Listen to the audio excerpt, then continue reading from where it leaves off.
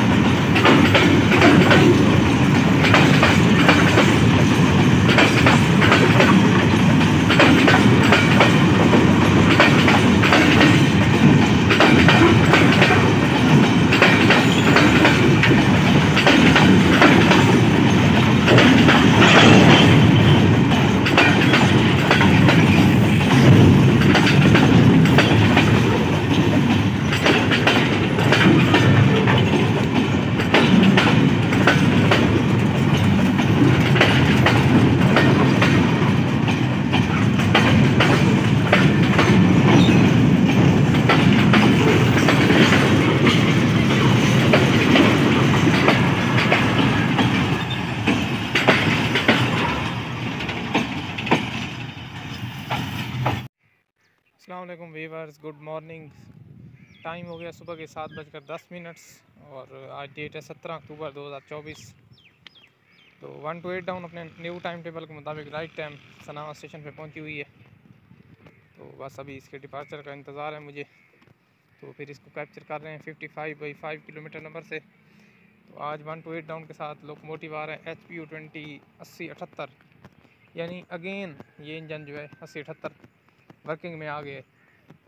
काफ़ी अर्सा वर्किंग से हट गया था। तो अगेन रिफर्बिश्ड ने ये है, थोड़ा सा इसको रिफर्बिश किया है रावलपिंडी वालों ने, सीरियल वर्कशॉप में। उसके बाद अगेन इसको वर्किंग में लगा दिए। वन टू एट डाउन और वन थर्टी डाउन के साथ। तो अच्छा खासा अस्सी बावन चल रहा था, धुआँ भी निकालता था।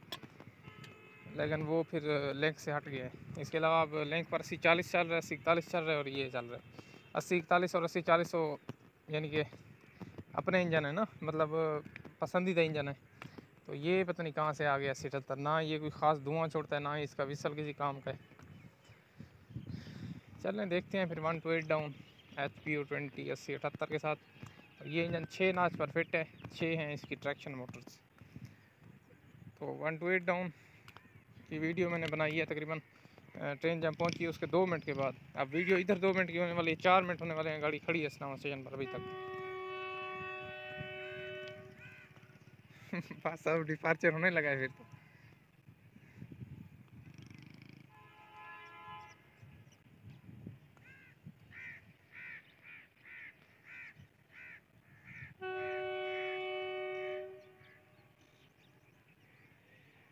वन टू नाइन अब जो है वो शेर शाह पहुँच चुकी है। उसका टाइम टेबल भी चेंज हो गया ना। छः बजकर पचास मिनट पर अब चलती है मुल्तान से। पहले चलती थी सात बजे।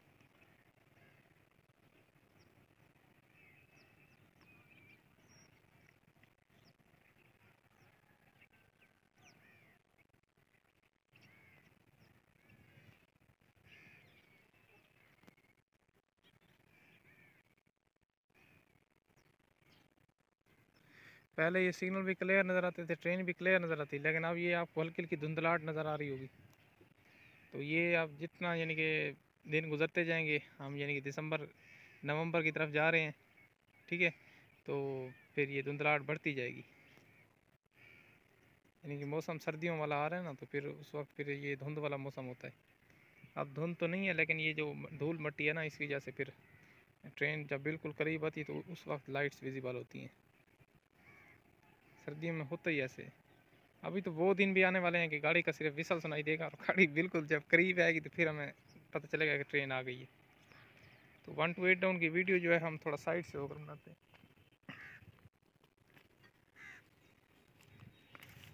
जहाँ से सारी ट्रेन आपको क्लियरली आती हुई नज़र आएगी। ये इस जगह से। इस जगह से ट्रेन भी आपको क्लियर नज़र आएगी, दूसरा फिर ये इंजन की चोकिंग साउंड जो है वो बड़ी ज़बरदस्त सुनाई देती है। ये अभी मैं तो सुन पा रहा हूँ इंजन की स्वीट टेस्ट चेकिंग साउंड। पता नहीं अब ये वीडियो में रिकॉर्ड हो रही है या नहीं।